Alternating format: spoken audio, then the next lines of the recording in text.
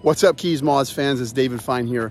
I'm back in Crocodile Lake National Wildlife Refuge in North Key Largo.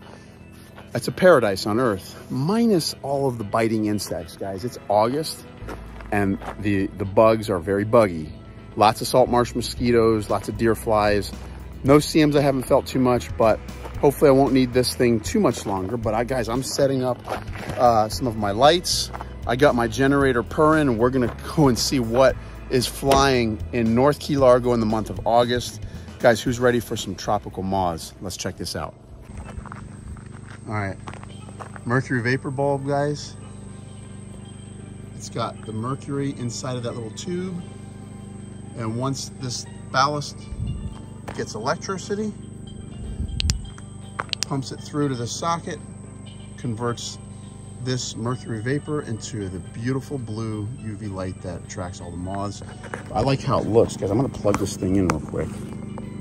I'm gonna show you what this is all about. So I'm gonna plug it in. Oop. I'm gonna plug this in right.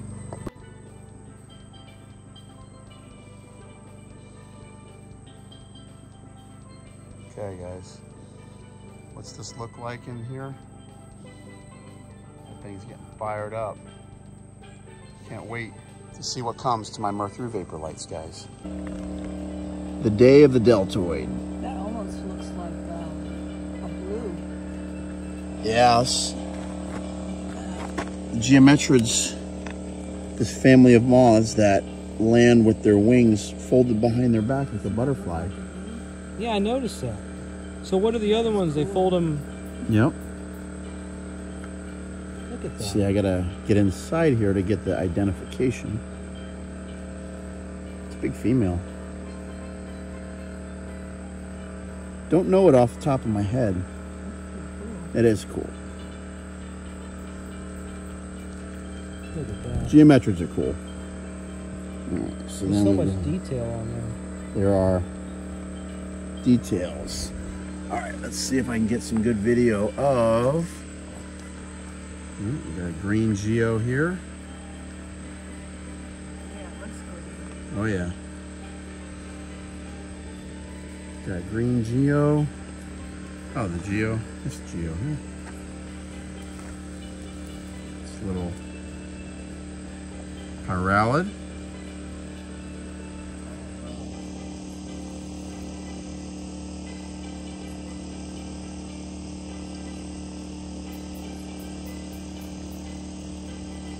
It's kind of slow so far, but stuff's starting to roll in. I was gonna say I'm seeing quite a pickup a little bit. The Stuff's little start- ones are coming in. Maybe the big ones will follow. What's that on top right up there? The little. No, the one that was just on. Yeah, it was uh, some kind of uh, true bug. Yeah.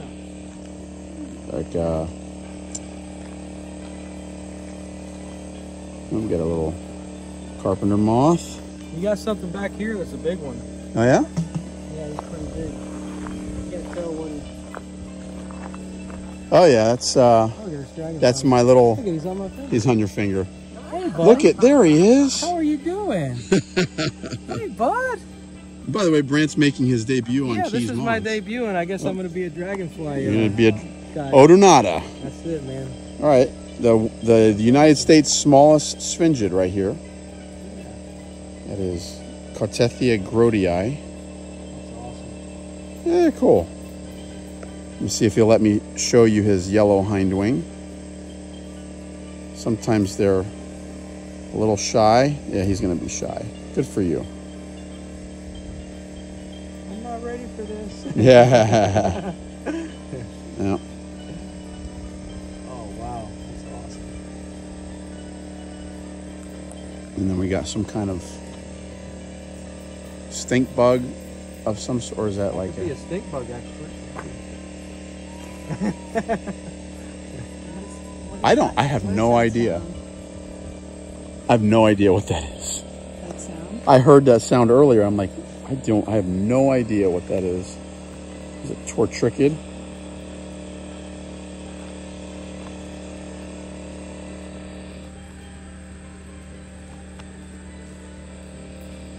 Lots of micros.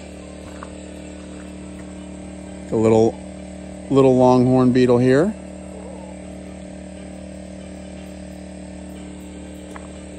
The, the world's smallest geometrid, Idaea pervertipennis. I might be butchering that name. That is a tiny bug, guys. Tiny, tiny. Um, I want to see if I get some where did the.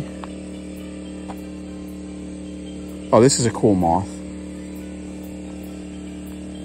So this guy here puts his forewings up and folds them. And then the hind wing he slaps down over his abdomen and hides his abdomen. Very strange uh, resting position that this moth has. Very interesting moth. Okay, let's try and get a better video of you.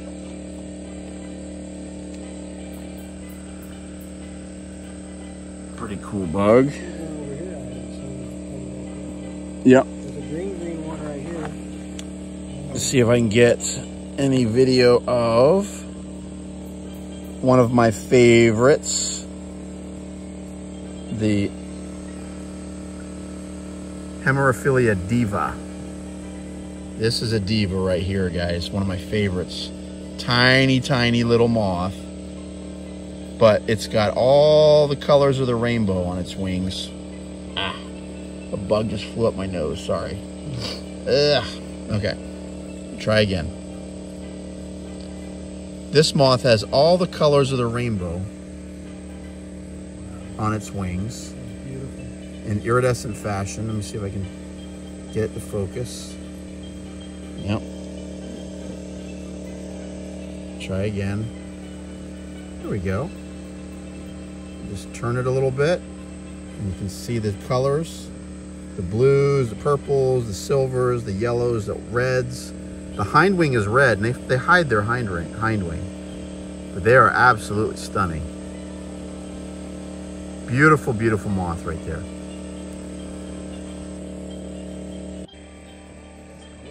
Yeah, he's a cool guy. Very cool. Forget the genus name. The species name is Mopsalis.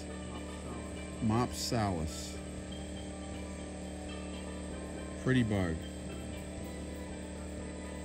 Very tough to mount if you try to get the specimen. Oh gosh, a delicate. Insanely delicate. You gotta have Dave Fine Keys Moths hands. Oh boy. Well, I butchered my share.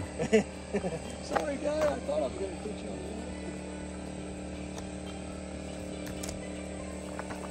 This is so cool. Yep, there's another diva. And then there's this little fly.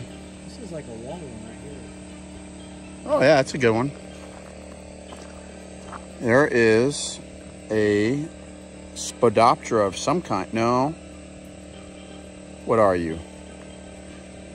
I I don't know what you are. Tell me your name. Sir. This is what we call BBM, guys. Basic brown moth. I forget. I forget what it's called. I like it. That thing. It might be a Spodoptera, but it's very. It, it, it lacks any kind of strong patterning on its wings, so it's very tough to tell. Uh, let's see if I can get you guys an ID. Hmm. All right, folks, this is a Synchlora, and I don't recognize this one. It looks a little different than anything that I've ever taken down here. It might be one that, and I'm just having a brain fart, but I might take this specimen and try to get a positive ID on it because that is looking a little different than ones that I've seen so far. So that's cool. Now here's another Synchlora here. This one I recognize.